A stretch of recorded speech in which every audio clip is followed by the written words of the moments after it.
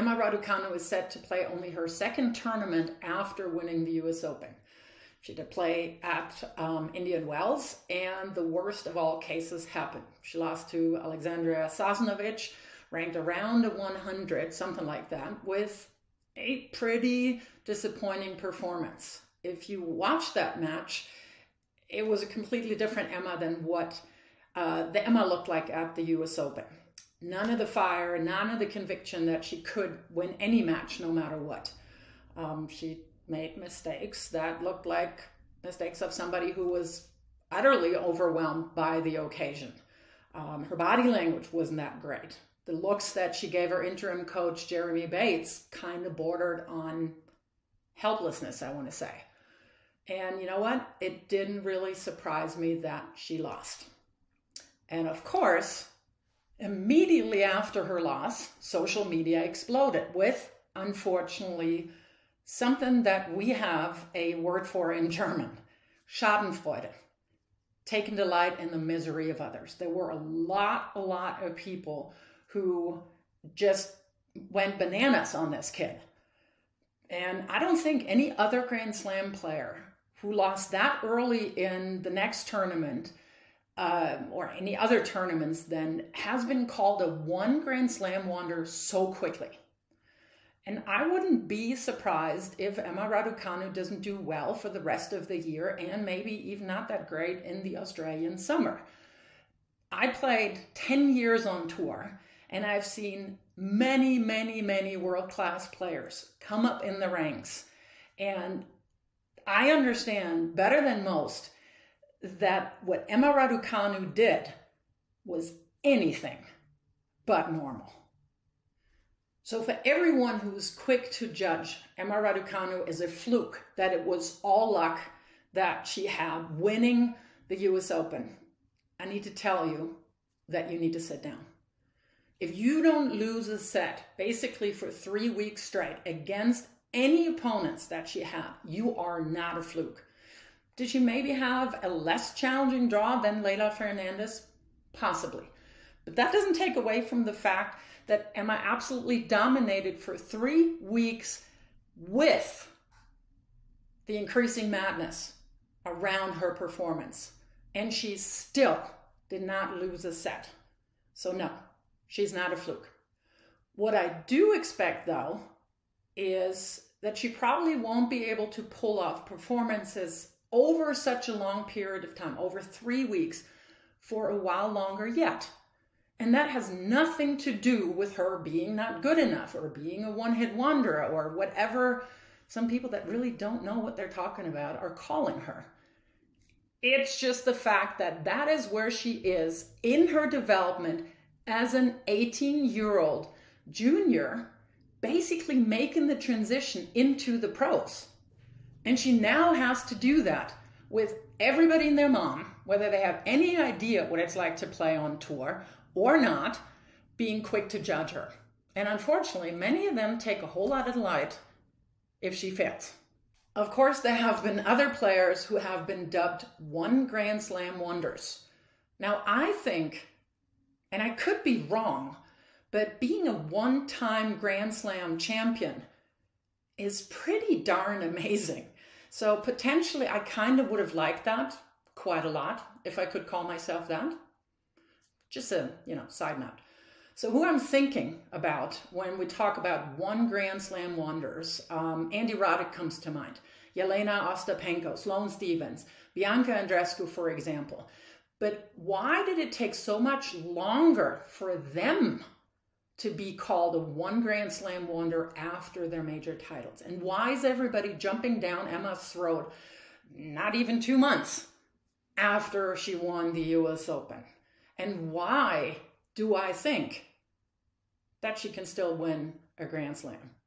Those are the questions that I think can be answered with me just knowing what a more normal development of a young player looks like. Somebody who is not called Martina Hingis, uh, Steffi Graf, Serena, and Venus Williams, uh, Monica Seles. These are exceptions. That's not normal. That is not how a young woman transitions into the pros. And I'm going to focus a little bit more on the women's side, of course, because that's where I played for 10 years. Let's look at Jelena Ostapenko, for instance. She was already an established world class player when she won the US Open in 2017. She was ranked in the 40s. She had already won a few smaller WTA tournaments. She had already beaten top 10 players. The surprise was mostly because she was only 20 and she was the first unseeded player um, to win the French Open since the 1930s, I believe. She also had a phenomenal junior career under her belt, which is a pretty good predictor, but not a guarantee, obviously, that you make it um, on the WTA. She won Junior Wimbledon actually in 2014. So, this is all to say that she basically had already played full time because juniors these days are traveling almost just as much as the pros. She had already played five, six, seven years at the very highest level of the sport. She knew what it's like to go deep into draws, do this week after week. She knew what it's like to travel for 40, 45 weeks out of the year, living in hotels, out of a suitcase, having no friends with her, um, family being at home, being a celebrity, because if you win Junior Wimbledon as a Latvian, you are a celebrity, and getting a lot of attention at a young age. Um, it was still a major adjustment for her after winning the French Open to now being expected uh, to win tier one tournaments. She had a little dip for a couple of years. We did have the pandemic year, so that's one year that most people can kind of write off. Write off. But she's now stringing together a fantastic season. She still has the chance to qualify for the WTA year end finals. Pretty much the same exact thing in terms of development can be uh, said for Sloane Stephens. Very successful junior career, had some top 10 wins, wins at smaller tournaments, basically living the weird life that is professional tennis for years and years already before she won the US Open in 2017. And then the following year, made it to the finals of the French Open and then ending at number three of the rankings, I believe, in 2018. The career, even without winning another Grand Slam, that Sloane Stephens and Jelena Ostapenko have had and are still having is still mind blowing.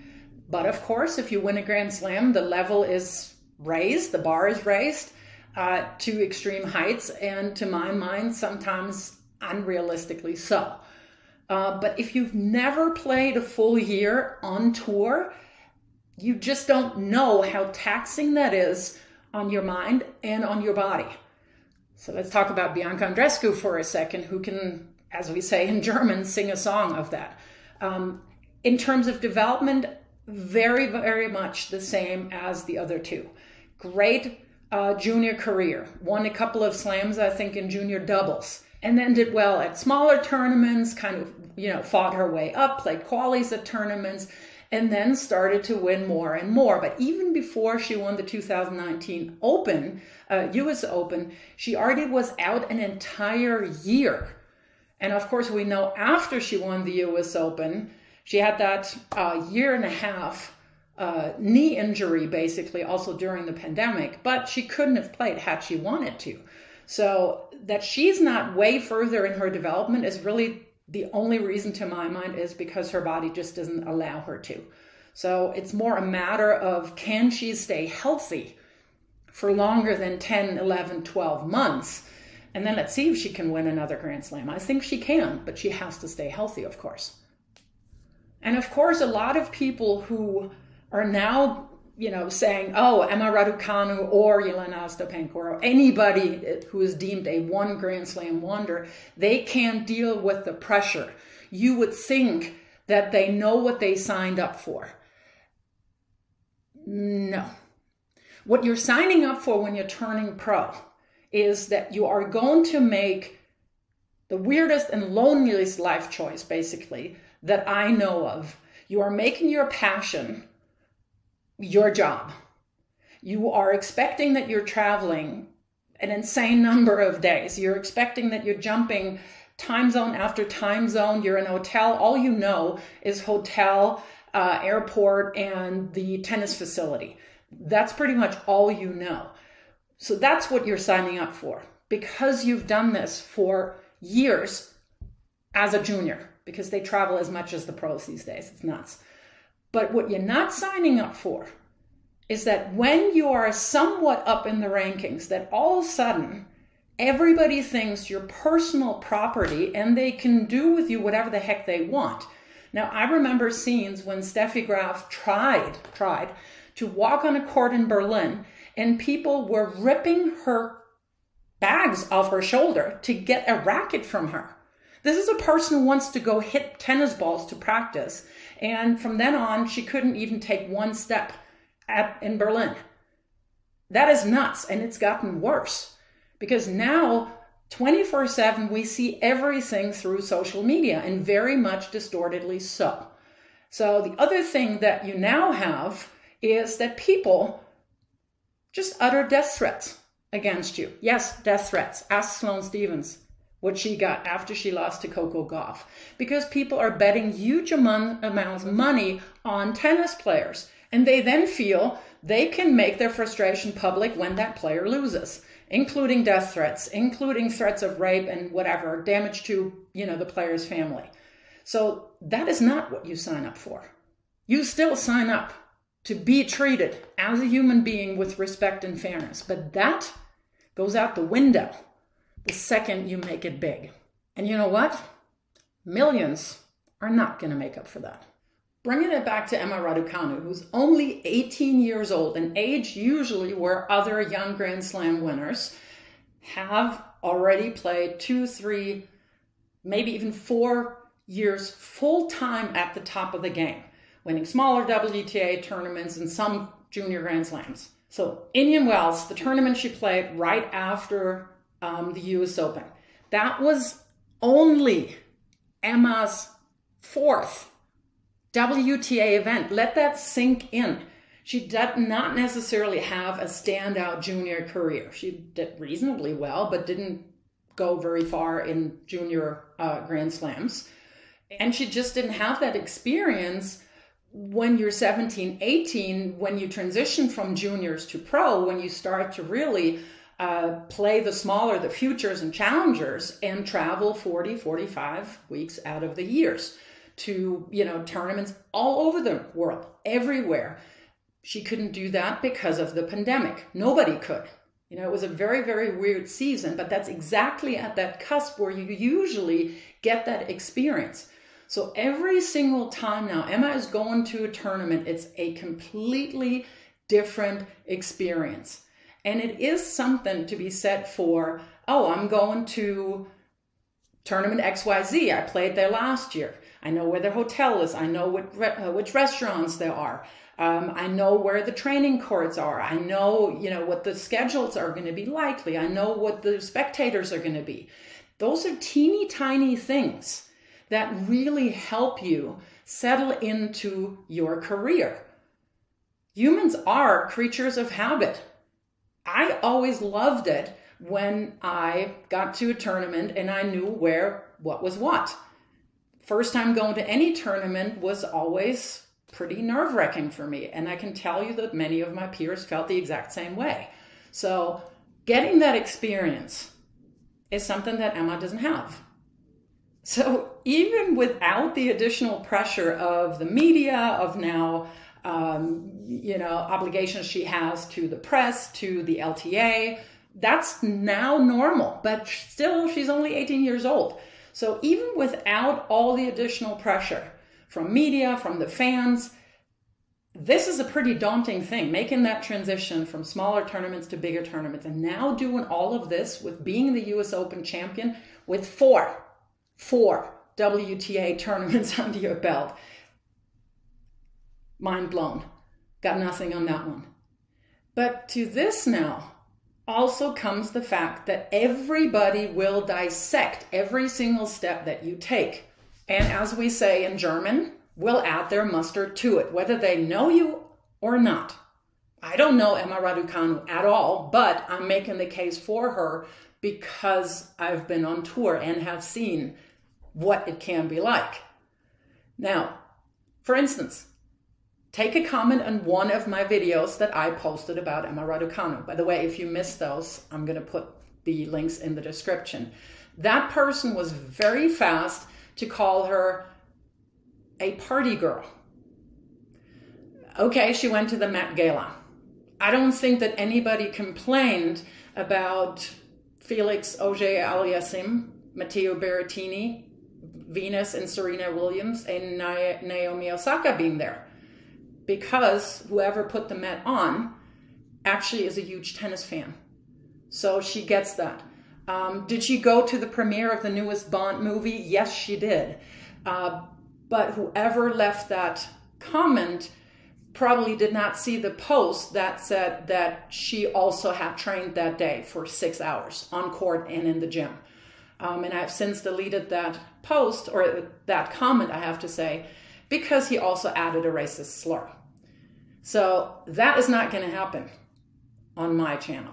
But that is what has happened everywhere else. If somebody can post this kind of crap, can leave that kind of crap on a channel that has 1,800 viewers, if you could subscribe, actually, that would be great because I want to get up over 2,000. Then can you imagine what they're post everywhere else? So to sum it up, I really wouldn't be surprised if Emma Raducanu has to pay her dues for the next six, seven months. It's gonna be rough.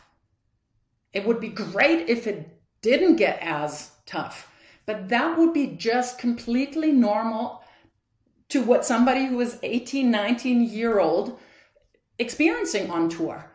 I mean, it's it's for a good reason that there's only three other young women at age 18 in the top 100, and they are going the exact route as it would be more normal. Marta Kostyuk, Clara Tauson, Camila Osorio, they have a much more normal development. I don't think Emma Raducanu is in the same Wunderkind category as Steffi Graf, Martina Hingis, uh, Monica Seles, Serena and Venus Williams. So what we're seeing is the absolute normal development of where she should be just with the difference that, of course, she won the US Open. Can she win another Grand Slam? Absolutely. If those of us who understand and appreciate what Emma Raducanu has already done and continue to support her and lift her up as the amazing young woman that she is and make our voices louder than those who want to see her fail, then I'm thinking how scary that's going to be in two, three, four, five years. Because looking at what she can do at 18, once she has the experience of playing four, five, six years on tour, full time, under her belt, going to be really scary. And I think we will see another Grand Slam that Emma Raducanu is going to win.